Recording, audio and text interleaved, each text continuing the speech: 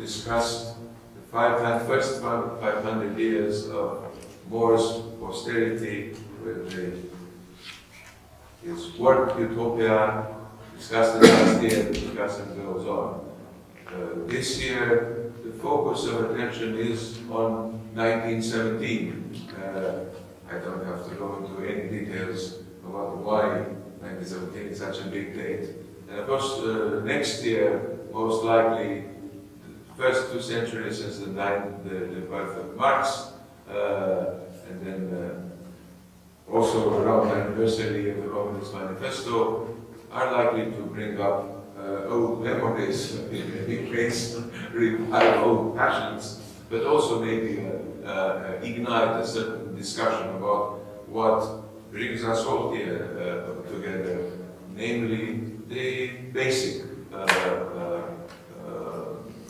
the foundations of political thought, of political ideologies, of speculative fictions related to politics and the good society, or the ways in which, the best ways in which good or bad societies can be wrecked and devastated. Uh, and this is uh, why we start uh, this evening at the conference, uh, the colloquium, the Royal Colloquium, Utopia and Revolution, with a, a presentation by uh, our colleague and friend uh, Gregory Claeys from Royal Holloway, London, who's going to talk to us uh, about utopia and revolution and Marx, the case of Marx.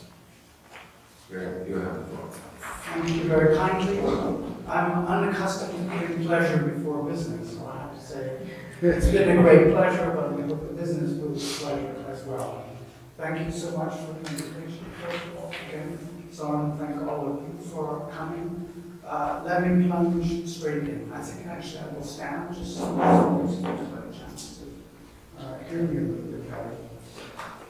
As we just heard, the years 15, 16, 1818, 1917 give us a conjunction of three great of Thomas More's Utopia, the uh, birth of Karl Marx, and of course, 1917, the Bolshevik. I've only just started, so the Bolshevik Revolution. I want to consider this afternoon the connections, of course, there are a great many more not considered between these three events. And I want to do so by first of all, just starting with the composition, which is going to have to take pretty much on faith rather than by virtue of the argument I often do because time doesn't go into great length about it. Namely, that what Utopia presents is a theory of sociability. It looks the long range of the development of the tradition about creating societies where people are kinder, nicer, more friendly to one another. So I'm taking that as a core definition to start with. I then want to look at what Marx has to say about this proposition and why uh, briefly we should treat Marx as a utopian, and then we'll turn to the Bolshevik Revolution and ask a little bit about why this doesn't work out just in the way Marx anticipated it would. So we start with the principle then that utopia constitutes something which I call enhanced sociability. The idea of designing better societies from inside a society in which people are unhappy is that they make their relationships with one another better than the relationships with in the society they're living in have somehow deteriorated. There is a market, of course, increase in utopian thinking in the modern period for exactly this reason. Now, I leave aside the much vexed question today, which I've treated at length in my book about dystopia, uh, which, while this copy is not for sale, there's a brochure here case anybody wants to buy a copy at 30% discount over the ridiculous price that the publishers put out. Uh, there is a very long-standing argument about the relationship between utopia and dystopia. I turn to this at the end today, but I have much more to say about it in this fat book. So uh, let me turn then to Marx. We start out with the proposition utopia represents an enhanced form of. We recognize it throughout the 500-year tradition, or earlier 400 years rather, that there are many routes anticipated to making people warmer and friendlier and kinder towards one another, the utopian mode. Not just one, but many.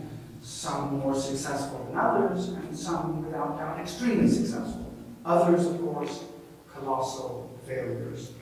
Let me turn then to Marx and ask how far his system sought to promote just such an ideal of sociability. To call Marx a utopianist, uh, you're all aware of this uh, circumstance, flies, of course, in the face of conventional terminology.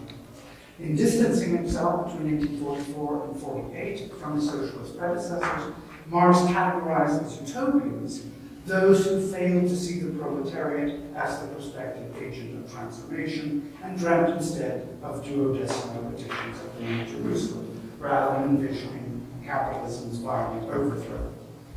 The traditional story here, I'm assuming, is known to all of you. Marx begins his career as a radical humanist when his thoughts on the subject begin to gel in 1843, 1844. He adopts Ludwig Feuerbach's conception of species being, rational species, to describe the ideal of harmony that he aims at, and uses, in a classic Hegelian uh, way, the idealist proposition that the best society is formed around the concept of species being as the critical standpoint for examining the society in which he lives, which of course comes off extremely badly by the judgment of a society formed according to the idea of species being. Even exchange for Marx in this period was to be equivalent, I'm quoting here, to species activity and species spirit, the real conscious improvement of existence, which is social activity and social enjoyment. So then, of course, in 1845-46, Marx drops this proposition in favor of an anti-idealist perspective, which envisions the social relations of the future as growing out of the present. At various later points, he still stresses his distance from the utopians. Famously respecting the Paris Commune, uh, Marx says, the workers have no ready-made utopias to introduce power, they they have no ideals to realize, but to set free elements of the new society with which the old collapsing bourgeois society itself is pregnant. Now this narrative has been long suspect, I think. Most people recognize it as such today, unless you're on the inside of this camp. Not only did Marx continue to admire much about the early socialists, particularly Robert Owen's scheme of cooperation and theory of education, and Charles Fourier's insistence on overcoming narrow specialization. He also upheld in later life the ideal he had fixed on by 1844 as the endpoint of the revolutionary process, namely creating a society which would nurture an all-rounded concept of the character. This idea of all-roundedness serves in Marx as an endpoint of the process of social development, both before 1845 and throughout the rest of his life until his death in 1883. So it's important to stress this because of all the uh, misdirection, I think, of Marx's interpretation led both by Marx himself and by most other subsequent commentators. Marx continues to have an ideal then, an ideal that is defined by both all-round development and a solid solidarity, solidarity in the original, between individuals, which is growing out of the process of the division of labor in large-scale uh, in industrial factories in particular. So, solidarity and all-roundness, then, uh, finish this point, remain as Marxist ideals, um, both in the earlier and the later writings. The Grundrisse and Capital promote solidarity, cooperation, the society of free producers, self-actualization, and all-roundedness.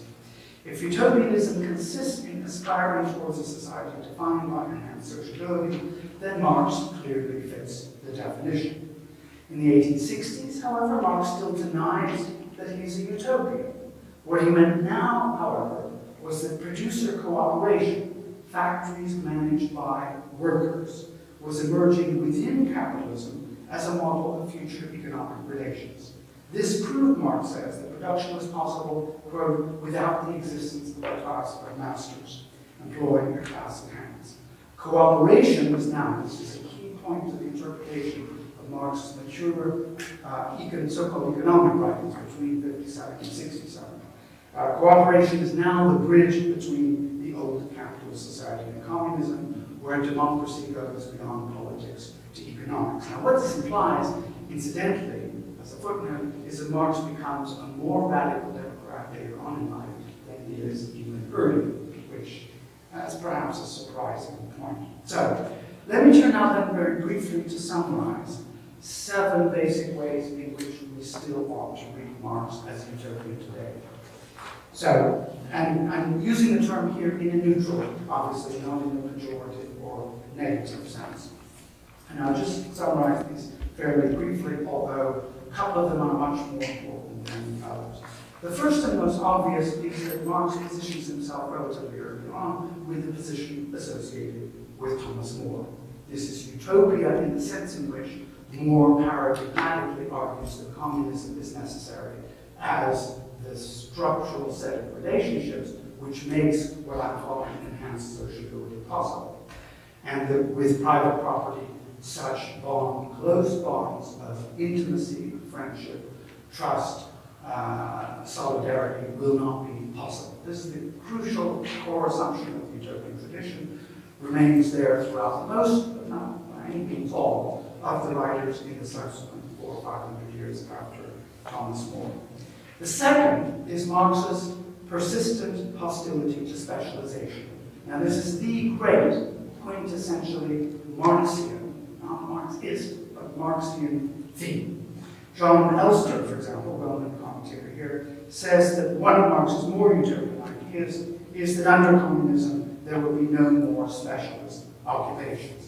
Thus, no more painters, only people who pronounce other things paint. Marx and Engels, of course, famously, evidently, as the text is corrupted, defer to Fourier in portraying the future communist society in a well-known, if controversial passage, as one in which, quote, nobody has one exclusive sphere of activity, but each one can become accomplished in any branch he wishes. Society regulates the general production, thus makes it possible for me to do one thing today and another tomorrow, to hunt in the morning, fish in the afternoon, rear cattle in the evening without becoming ever hunter, fisherman, shepherd, or critic.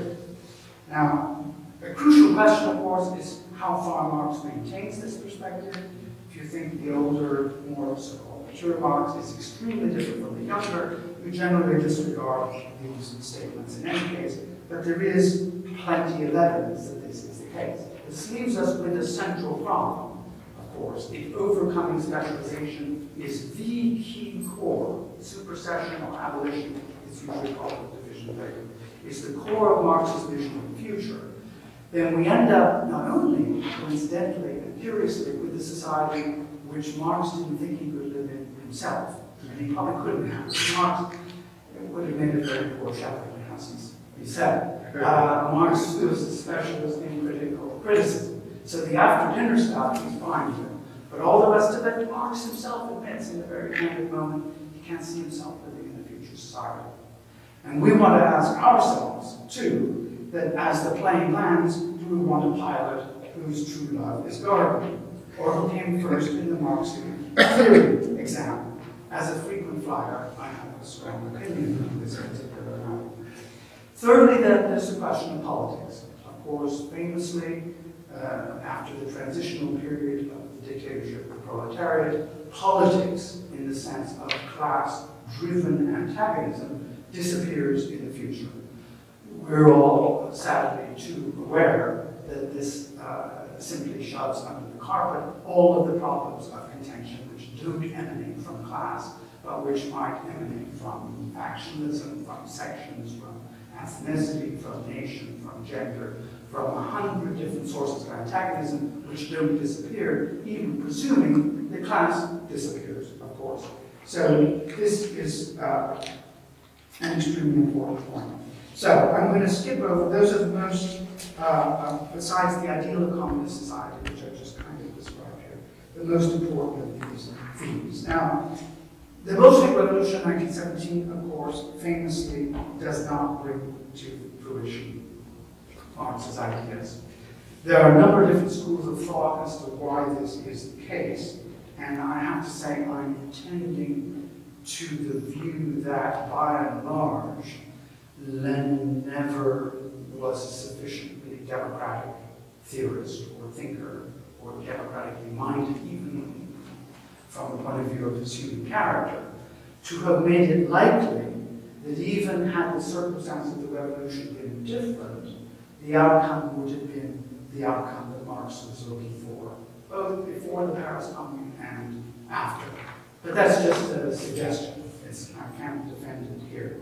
So we have five turning points within the revolution, clearly, where uh, prospect, small as I just said, as it might have been, of the revolution becoming a radical democratic expression from below of an entirely new form of both democratic theory and democratic practice. Now, I tend to agree that I think Marx, as a radical Democrat, was looking for an expression of democracy which he thought was much more democratic than any liberal society presented in his own time. Now, I don't doubt Lenin shared this assumption with him. Lenin also thought that the USSR, would just become shortly after the revolution, was more democratic. But what he meant by this was something completely different from what Marx meant by it.